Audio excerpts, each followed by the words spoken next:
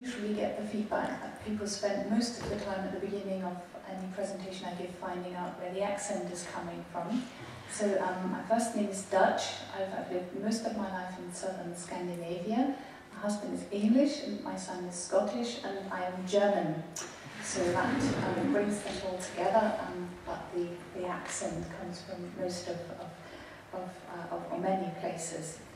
Um, the, the, the speaker's um, um, instructions actually said that the presentation should be thought-provoking and, um, and provocative, which, which I thought might be um, a bit of a contradiction if you instruct a civil servant to, to be that. But uh, I was very grateful to present um, after Dominic because um, he presented a lot of very interesting um, information. And I, as a, as a policy staff in the Scottish Government, feel that I'm really spoiled to have that vast amount of, research going on, which is really tailored specifically towards supporting policy development. And, uh, and I really think that we, we need to congratulate those people in Scottish Government who have been pulling all the right strings to make this huge resource uh, available to enable uh, policy to be um, evidence-based in, in Scottish Government. In, in the presentation um, uh, today, I, I flicked through some, some slides quite, quite quickly, but I thought I'd put them up so that you have some, some reference, uh, re references to um, uh, some documents. I um, mostly focus on, on agriculture and climate change today because that's the area where I have responsibility for um, in the Scottish Government. Uh, just really, we hear a bit more details about the Scottish Climate Change Act, but, but really just to um, say again that we have a very important uh, uh, target, statutory target, not only for 2050, uh, that target applies for the whole of the UK, but the Scottish Climate Change Act specifically sets a target for 2020 of 42%, and uh, that is really very much that, that helps us focus uh, our efforts at the moment. And, and really uh, is quite challenging uh, for us in, in shaping policy. And, and lest we forget, there's also um, a bottle of whiskey being produced, uh, 42% proof at 2020. And um, some, some of my colleagues have said we, we might all be at the bottle um, by, by the time we come closer to 2020, but uh, I think that uh, can be seen. Um, uh, just uh, a bit more of a detailed slide, um, Dominic showed a, a similar one. Um, you can see the Scottish emissions broken down into uh, various uh, sectors, and uh, you can also see that the targets that we um, that we need to get to by 2020 and 2050, it's only that much, so it can't be that difficult. Um, just really to say for, for those um, who want to read a bit more about our detailed programs in place to reach those targets, uh, there is a report on pr proposals and policies uh, available on the web, which is um, uh, not just a carbon reduction plan, but a low carbon future project that sets out the, the detailed background for, um, for all of the various policy areas. Uh, for my specific responsibility, um, agriculture and climate change, farming for a better climate, is a behaviour change initiative uh, that we work uh, together with SAC on to actually help uh, Scottish farmers adapt to a changing climate but also to um, mitigate emissions from agriculture. So um, if, if you have some spare time, just uh, log into that web page and you see quite a lot of information uh, about the causes, impacts of climate change, actions that that you can take and uh, specifically also some, some case studies that show practically what can be done.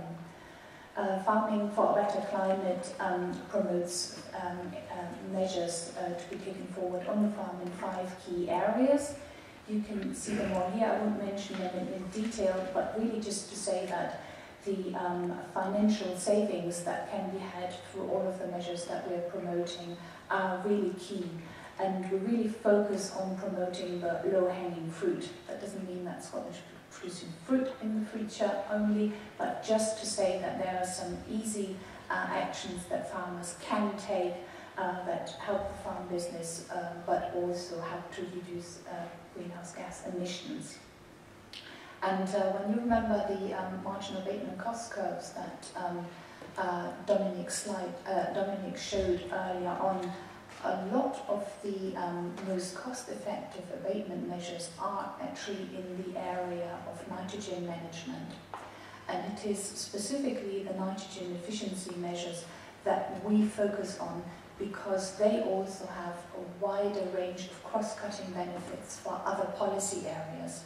And that is quite important because in everything that we promote in terms of uptake to, um, of measures uh, to reduce greenhouse gas emissions, we mustn't forget that focusing on reaching the climate change targets only might lead to perverse outcomes. So we really need to look at the cross-cutting effects of everything that we're promoting and focus on those actions that actually have benefits in other areas rather than negative trade-offs.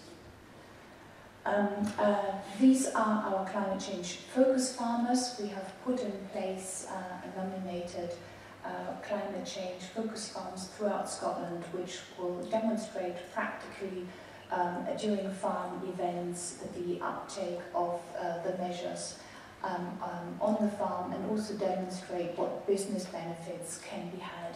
So um, this taken, uh, this photo was taken at the outset of, uh, of the pro of the three-year program, and they're all still smiling. So you can just wait how they look after the, the three years. I hope they are all still smiling, and I fairly sure that we'll be able to actually prove with the farm data that uptake of climate change mitigation measures and specifically also adapting to the changing climate will have had farm uh, business savings. Um, the, um, there's a vast range of, of research in place and Dominic already uh, um, told you about that. I don't want to go into detail other than just saying specifically there is a need to improve the greenhouse gas inventory uh, where it covers agriculture because uh, it is an area with great uncertainty and we need to reduce that uncertainty to be much surer and much more aware where the um, greatest sources are and what the most cost-effective measures uh, can be to mitigate those sources. Um, looking specifically about how um, uh, the future um, uh, impact of climate change will be in, in Scotland, I've just put this map up, which is a climate map of, of Europe in 2080 using the high emissions scenario.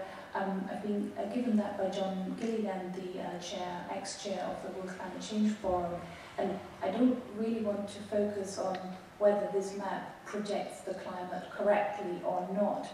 What I really want to um, make clear on this slide is that the amount um, that our climate could change